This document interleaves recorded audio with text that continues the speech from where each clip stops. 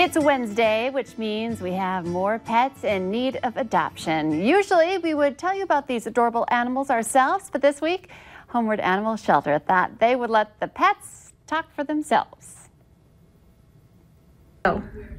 Hi, I'm Heather with Homeward Animal Shelter, and this beautiful girl next to me is Misty. She's two and a half years old, Chihuahua, as you can see, and she came to us um, as a surrender when her family could no longer care for her. Uh, she's lived with other cats, dogs, and kids, so she does great with everybody, and she's just looking for a cuddle companion and somebody to curl up in their lap with.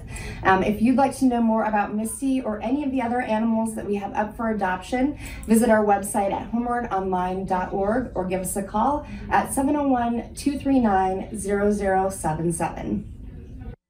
I like seeing the animals, even though some of the beauty shots with the still pictures are gorgeous. Uh, I might be hooked on that. Stay with us. Coming up next, we're going to have your daily dose of motivation.